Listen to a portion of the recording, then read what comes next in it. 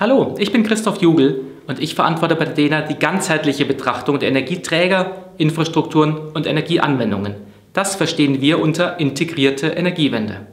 Hallo, ich bin Susanne Schmelcher und treibe bei der DENA das Thema konkrete Umsetzung der Energiewende in den Städten und Kommunen. Bei der integrierten Energiewende spielen Städte eine besondere Rolle. Erstens, weil ein Großteil der Bevölkerung in Städten lebt und dort auch ein Großteil der Emissionen anfallen.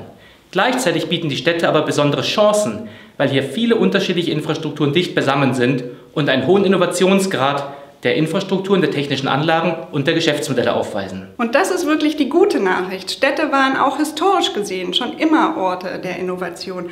Und wir haben hier eine Vielzahl von tollen Projekten, die durch sehr engagierte Akteure vor Ort umgesetzt werden. Aber gerade bei der Umsetzung fehlt es oft an den richtigen Rahmenbedingungen. Und darüber wollen wir mit Ihnen diskutieren auf dem DENA Energiewende-Kongress 2018. Wir freuen, wir freuen uns auf Sie.